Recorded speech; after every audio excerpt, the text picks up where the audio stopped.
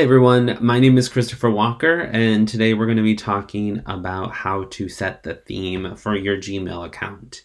Now, there's two different ways that you can do this. The first is you're going to go up towards the top right hand corner and click on the settings or the gear, and then you're going to scroll down and you're going to click on the fourth from the top, which says themes and that's going to pop open this new screen for you.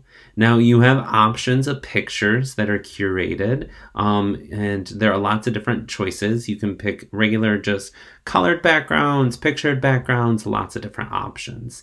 Now you can also, if you come down here towards the left, click on My Photos. You can pick photos from your own um, um, images.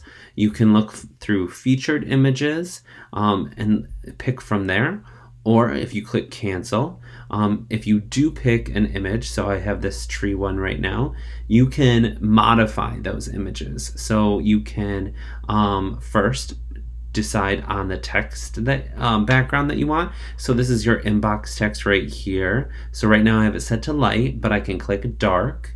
So it's going to turn them kind of black with like gray writing.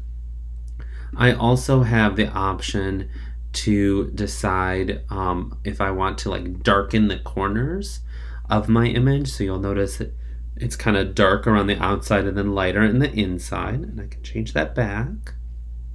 I can also change if I want to blur the image. So maybe I don't want the actual image. I just like the colors and like where they're laid out. I could do it like that.